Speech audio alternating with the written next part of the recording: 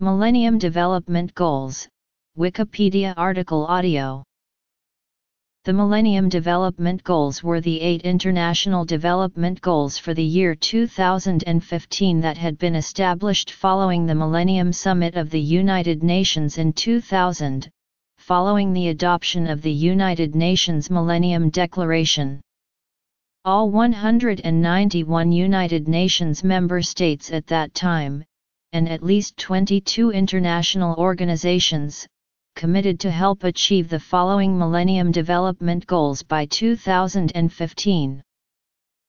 Background. Millennium Summit. Precursors. Human Capital, Infrastructure, and Human Rights. Partnership. Goals. Goal 1 Eradicate extreme poverty and hunger. Goal 2 Achieve universal primary education. Goal 3 Promote gender equality and empower women. Goal 4 Reduce child mortality rates. Goal 5 Improve maternal health. Goal 6 Combat HIV/AIDS, malaria, and other diseases. Goal 7 Ensure environmental sustainability. Goal 8 Develop a global partnership for development. Criticism General Alleged lack of legitimacy. Human rights. Human capital. Equity. Women's issues. Progress. Multilateral debt reduction. Sub-Saharan Africa. Funding commitment. European Union. Each goal had specific targets, and dates for achieving those targets. To accelerate progress, the G8 finance ministers agreed in June 2005 to provide enough funds to the World Bank, the International Monetary Fund and the African Development Bank to cancel $40 to $55 billion in debt owed by members of the heavily indebted poor countries to allow them to redirect resources to programs for improving health and education and for alleviating poverty. United States OECD Critics of the MDGs complained of a lack of analysis and justification behind the chosen objectives, and the difficulty or lack of measurements for some goals and uneven progress, among others. Although developed countries' aid for achieving the MDGs rose during the challenge period, more than half went for debt relief and much of the remainder going towards natural disaster relief and military aid, rather than further development. Review Summit 2010 MDG 3 As of 2013, progress towards the goals was uneven. Some countries achieved many goals, while others were not on track to realize any. A UN conference in September 2010 reviewed progress to date and adopted a global plan to achieve the eight goals by their target date. New commitments targeted women's and children's health, and new initiatives in the worldwide battle against poverty, hunger, and disease. Among the non-governmental organizations assisting were the United Nations Millennium Campaign, the Millennium Promise Alliance, Inc., the Global Poverty Project, the Micah Challenge, the Youth in Action EU program, Cartoons in Action video project and the Eight Visions of Hope Global Art Project. The Sustainable Development Goals replaced the MDGs in 2016. Preparations for the 2000 Millennium Summit launched with the report of the Secretary General entitled, We the People, the role of the United Nations in the 21st century. Additional input was prepared by the Millennium Forum, which brought together representatives of over 1,000 non-governmental and civil society organizations from more than 100 countries. The forum met in May to conclude a two-year consultation process covering issues such as poverty eradication, environmental protection, human rights, and protection of the vulnerable. MDGs derive from earlier development targets, where world leaders adopted the United Nations Millennium Declaration. The approval of the Millennium Declaration was the main outcome of the Millennium Summit. The MDGs originated from the United Nations Millennium Declaration. The declaration asserted that every individual has dignity, and hence, the right to freedom, equality, a basic standard of living that includes freedom from hunger and violence and encourages tolerance and solidarity. The MDGs set concrete targets and indicators for poverty reduction in order to achieve the rights set forth in the Declaration. The Brahimi report provided the basis of the goals in the area of peace and security. The Millennium Summit Declaration was, however, only part of the origins of the MDGs.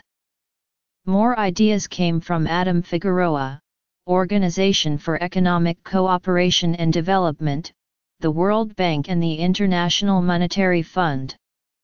A series of UNLED conferences in the 1990s focused on issues such as children, nutrition, human rights, and women. The OECD criticized major donors for reducing their levels of official development assistance. UN Secretary-General Kofi Annan signed a report titled, We the Peoples, The Role of the United Nations in the 21st Century. The OECD had formed its International Development Goals. The two efforts were combined for the World Bank's 2001 meeting to form the MDGs. The MDGs emphasized three areas human capital, infrastructure, and human rights, with the intent of increasing living standards. Human capital objectives include nutrition, healthcare, and education. Infrastructure objectives include access to safe drinking water, energy, and modern information-communication technology, increased farm outputs using sustainable practices, transportation, and environment. Human rights objectives include empowering women, reducing violence, increasing political voice, ensuring equal access to public services and increasing security of property rights. The goals were intended to increase an individual's human capabilities and advance the means to a productive life. The MDGs emphasize that each nation's policies should be tailored to that country's needs, therefore most policy suggestions are general.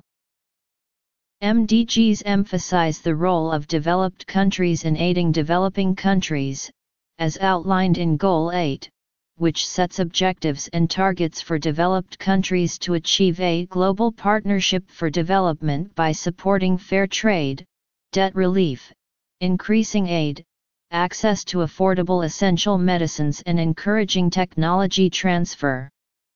Thus developing nations ostensibly became partners with developed nations in the struggle to reduce world poverty. The MDGs were developed out of several commitments set forth in the Millennium Declaration, signed in September 2000. There are eight goals with 21 targets, and a series of measurable health indicators and economic indicators for each target.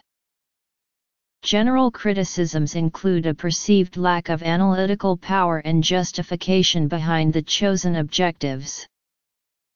The MDGs lack strong objectives and indicators for within-country equality, despite significant disparities in many developing nations. Iterations of proven local successes should be scaled up to address the larger need through human energy and existing resources using methodologies such as participatory rural appraisal, asset-based community development, or seed scale. MDG 8 uniquely focuses on donor achievements, rather than development successes. The Commitment to Development Index, published annually by the Center for Global Development in Washington, D.C., is considered the best numerical indicator for MDG 8. It is a more comprehensive measure of donor progress than official development assistance, as it takes into account policies on a number of indicators that affect developing countries such as trade, migration, and investment. The MDGs were attacked for insufficient emphasis on environmental sustainability. Thus, they do not capture all elements needed to achieve the ideals set out in the Millennium Declaration. Agriculture was not specifically mentioned in the MDGs even though most of the world's poor are farmers. The entire MDG process has been accused of lacking legitimacy as a result of failure to include, often, the voices of the very participants that the MDGs seek to assist. The International Planning Committee for Food Sovereignty, in its post-2015 thematic consultation document on MDG 69 states the major limitation of the MDGs by 2015 was the lack of political will to implement due to the lack of ownership of the MDGs by the most affected constituencies. The MDGs may underemphasize local participation and empowerment. FIAN International, a human rights organization focusing on the right to adequate food, contributed to the post-2015 process by pointing out a lack of primacy of human rights, qualifying policy coherence, and of human rights-based monitoring and accountability. Without such accountability, no substantial change in national and international policies can be expected. MDG 2 focuses on primary education and emphasizes enrollment and completion. In some countries, primary enrollment increased at the expense of achievement levels. In some cases, the emphasis on primary education has negatively affected secondary and post-secondary education. A publication from 2005 argued that goals related to maternal mortality, malaria, and tuberculosis are impossible to measure and that current UN estimates lack scientific validity or are missing.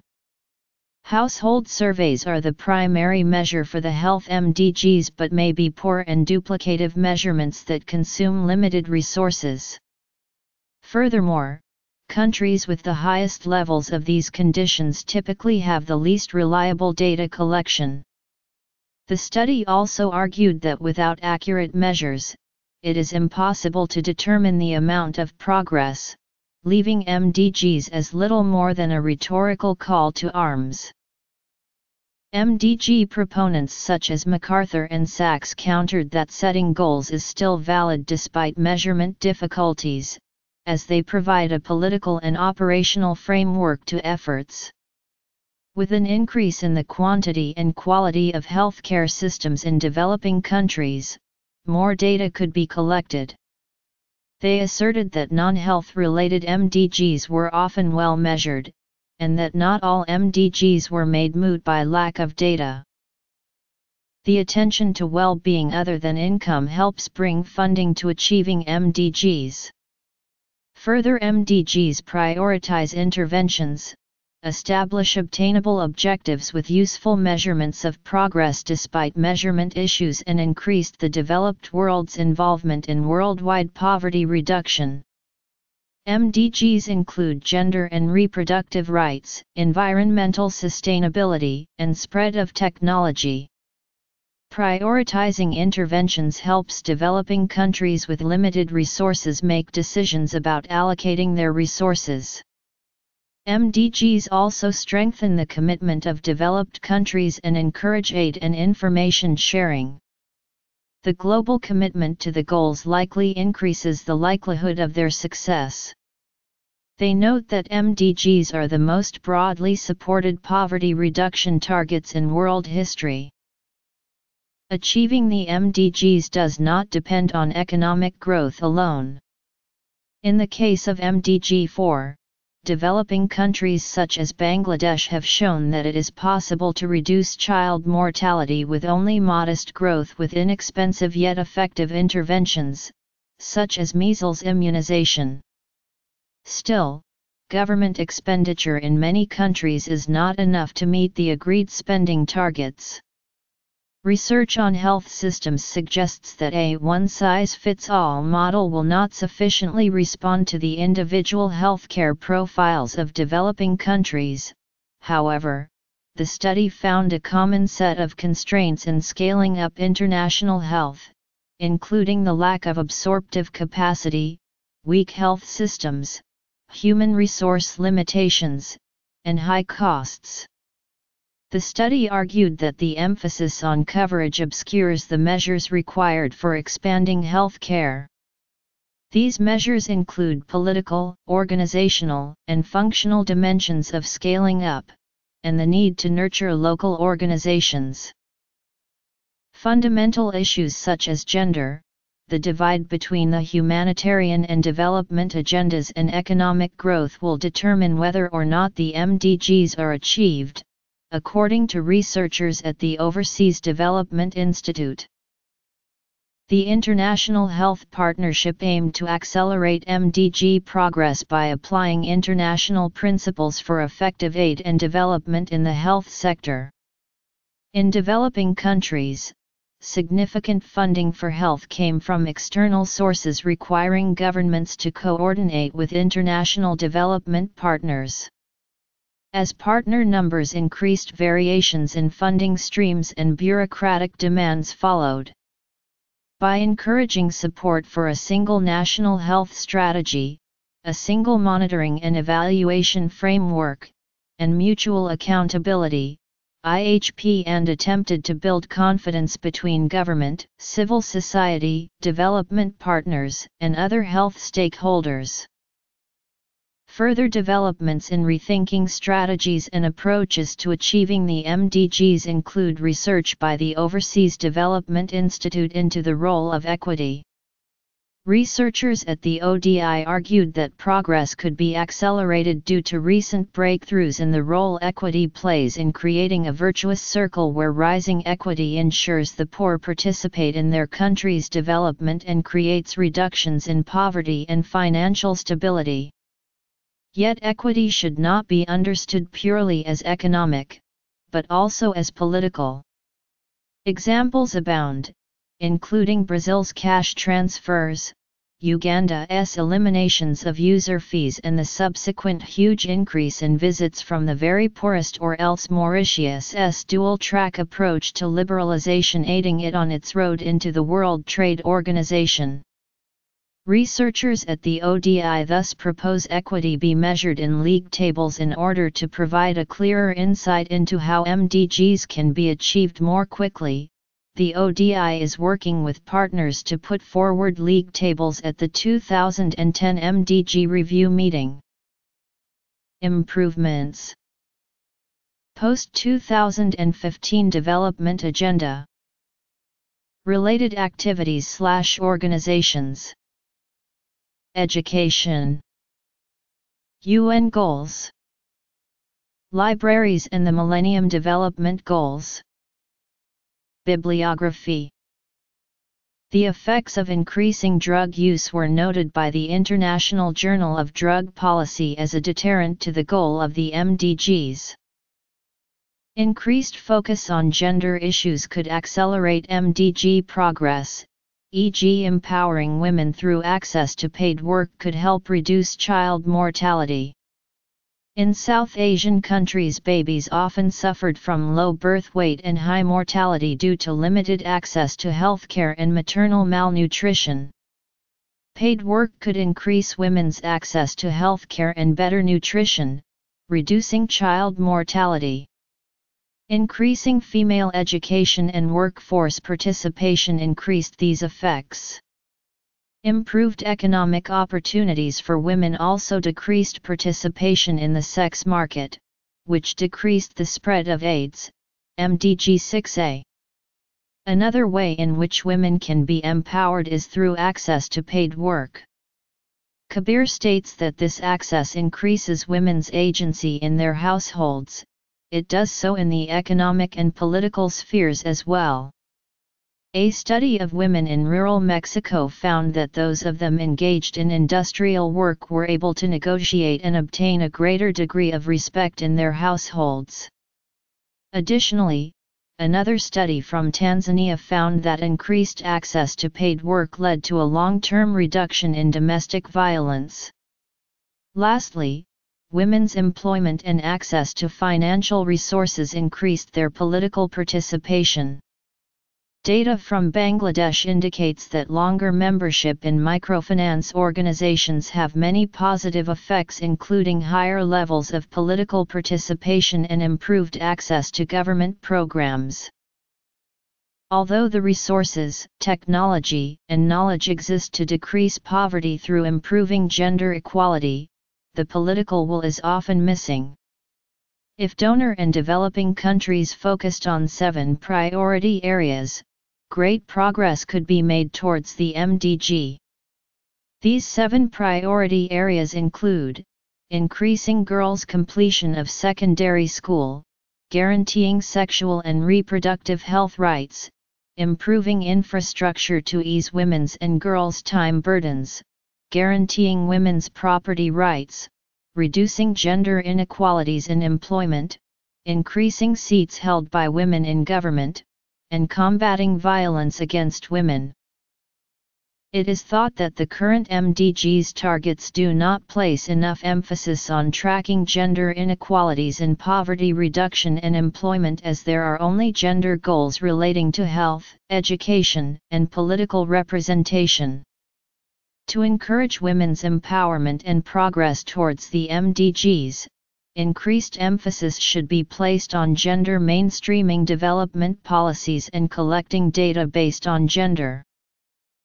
Progress towards reaching the goals has been uneven across countries.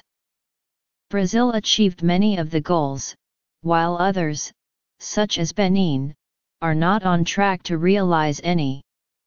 The major successful countries include China and India. The World Bank estimated that MDG 1A was achieved in 2008 mainly due to the results from these two countries and East Asia. In the early 1990s Nepal was one of the world's poorest countries and remains South Asia's poorest country. Doubling health spending and concentrating on its poorest areas halved maternal mortality between 1998 and 2006.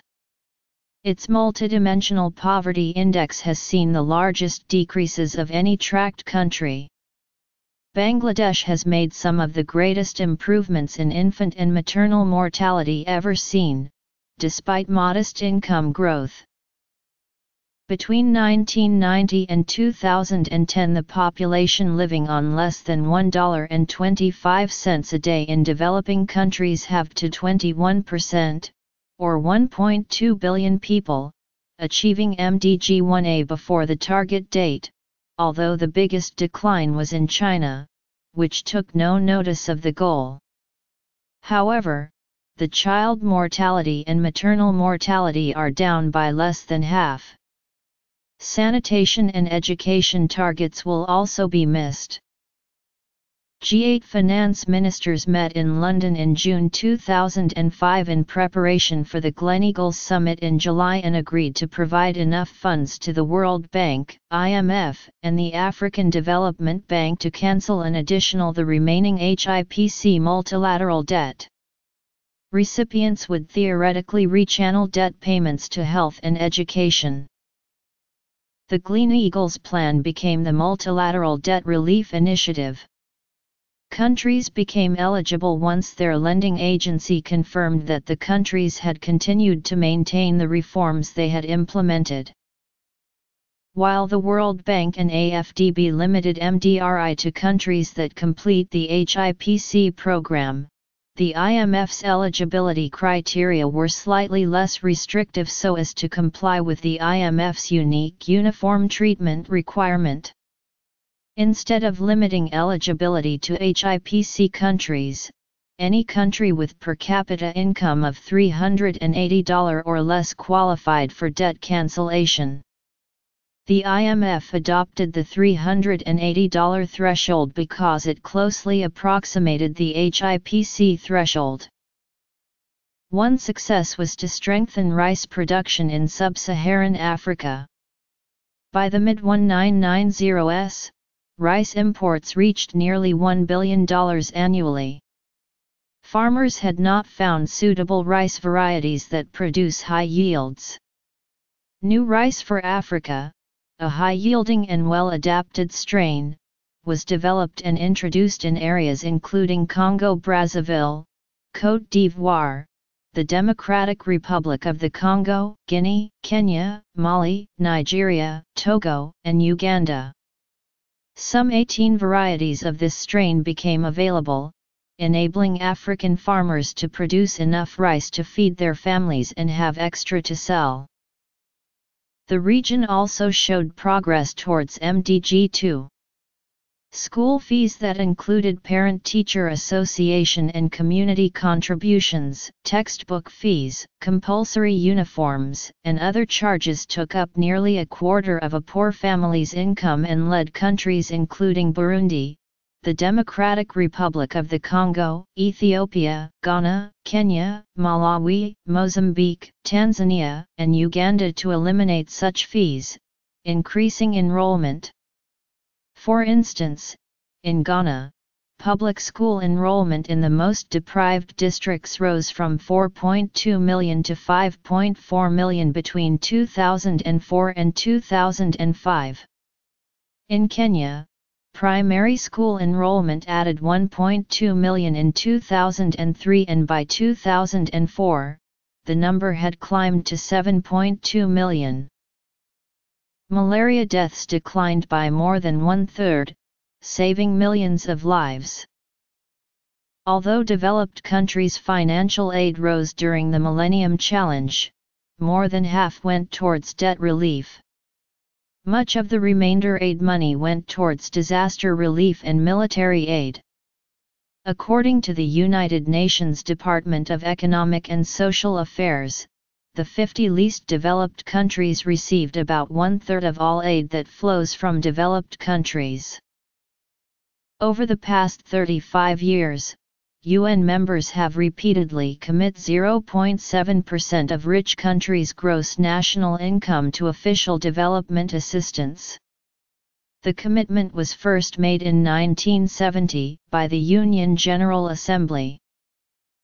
The text of the commitment was each economically advanced country will progressively increase its official development assistance to the developing countries and will exert its best efforts to reach a minimum net amount of 0.7% of its gross national product at market prices by the middle of the decade. In 2005, the European Union reaffirmed its commitment to the 0.7% aid targets, noting that four out of the five countries, which exceed the UN target for ODA of 0.7%, of GNI are member states of the European Union. Further, the UN believe that donors should commit to reaching the long-standing target of 0.7% of GNI by 2015. However, the United States as well as other nations disputed the Monterrey Consensus that urged developed countries that have not done so to make concrete efforts towards the target of 0.7% of gross national product as ODA to developing countries. The U.S. consistently opposed setting specific foreign aid targets since the UN General Assembly first endorsed the 0.7% goal in 1970. Many Organization for Economic Cooperation and Development nations, did not donate 0.7% of their GNI. Some nations' contributions fell far short of 0.7%. The Australian government committed to providing 0.5% of GNI in international development assistance by 2015 to 2016. A major conference was held at UN headquarters in New York on 2022 September 2010 to review progress. The conference concluded with the adoption of a global action plan to accelerate progress towards the eight anti-poverty goals. Major new commitments on women's and children's health, poverty, hunger, and disease ensued. According to MDG Monitor, the target under MDG 3 to eliminate gender disparity in primary and secondary education by 2005, and in all levels of education by 2015 was met. However MDG Monitor points out that while parity has been achieved across the developing world, there are regional and national differences favoring girls in some cases and boys in others. In secondary education in Western Asia, Oceania, and Sub-Saharan Africa, girls are still at a disadvantage, while the opposite is true in Latin America and the Caribbean boys are at a disadvantage. Similarly in tertiary education there are disparities at the expense of men in Northern Africa, Eastern Asia, and Latin America and the Caribbean while conversely they are at the expense of women in Southern Asia and Sub-Saharan Africa. Improving living conditions in developing countries may encourage healthy workers not to move to other places that offer a better lifestyle. Cuba, itself a developing country, played a significant role in providing medical personnel to other developing nations. It has trained more than 14,500 medical students from 30 different countries at its Latin American School of Medicine in Havana since 1999. Moreover, some 36,000 Cuban physicians worked in 72 countries, from Europe to Southeast Asia, including 31 African countries, and 29 countries in the Americas. Countries such as Honduras, Guatemala, and Nicaragua benefit from Cuban assistance. Although there has been major advancements and improvements achieving some of the MDGs even before the deadline of 2015, the progress has been uneven between the countries. In 2012, the UN Secretary-General established the UN System Task Team on the post-2015 UN Development Agenda, bringing together more than 60 UN agencies and international organizations to focus and work on sustainable development.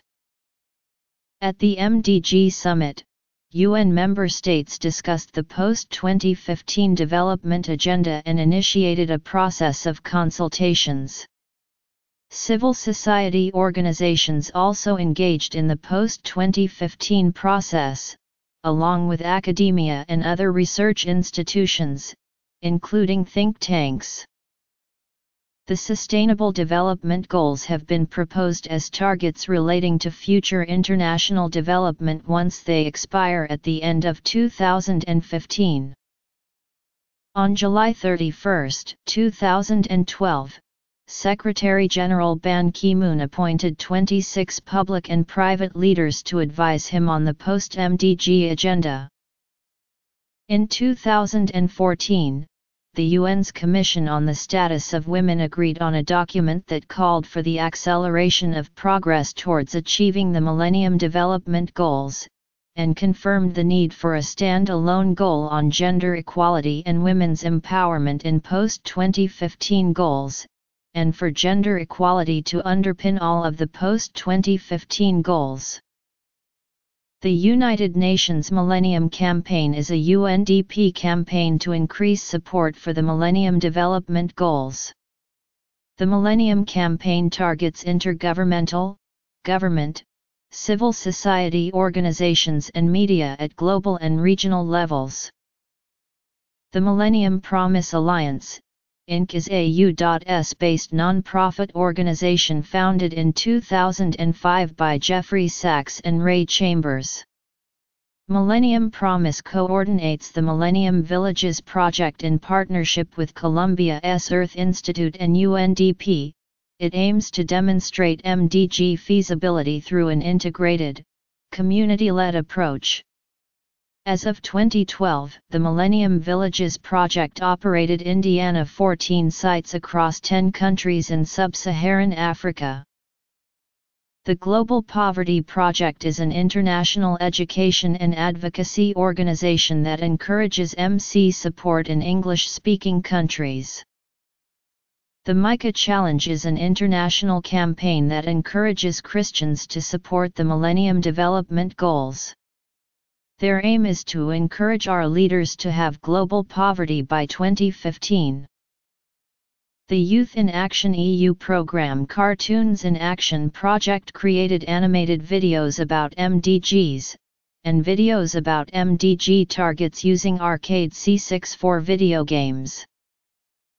The World We Want 2015 is a platform and joint venture between the United Nations and civil society organizations that supports citizen participation in defining a new global development framework to replace the Millennium Development Goals. Accessing Development Education is a web portal. It provides relevant information about development and global education and helps educators share resources and materials that are most suitable for their work. The Teach MDG's European project aims to increase MDG awareness and public support by engaging teacher training institutes, teachers and pupils in developing local teaching resources that promote the MDGs with a focus on sub-Saharan Africa. Global Education Magazine is an initiative launched by the teaching team that formulated the proposal most voted in the group Sustainable Development for the Eradication of Poverty in Rio Plus 20. It is supported by UNESCO and and aims to create a common place to disseminate transcultural, transpolitical, transnational, and transhumanist knowledge. UN Goals is a global project dedicated to spreading knowledge of MDG through various internet and offline awareness campaigns. This has had tremendous progress. Librarians and others in the information professions are in a unique position to help achieve the Millennium Development Goals. It is often the dissemination of key information, e.g., about health, that changes daily life and can affect an entire community. Millennium Development Goals are not only for the developing world. MAR8 specifically addresses how U.S. public libraries can help the United States meet the goals. The work of U.S. librarians has evolved in a manner that incorporates human rights values and precepts without having generally used the language that characterizes the philosophical and ethical goals of human rights and human development. Librarians are able to further the Millennium Development Goals and contribute by providing information and services to all people in varying formats and languages. Albright and Kawooya report that cultural and financial barriers in sub-Saharan Africa impede LIS education programs. As a result, MDG goals for poverty, healthcare, and education fall short. High rates of HIV/AIDS and escalating child and maternal mortality are the direct result of poverty and substandard medical care. Limited instruction in information access and exchange contributes to this ongoing dilemma.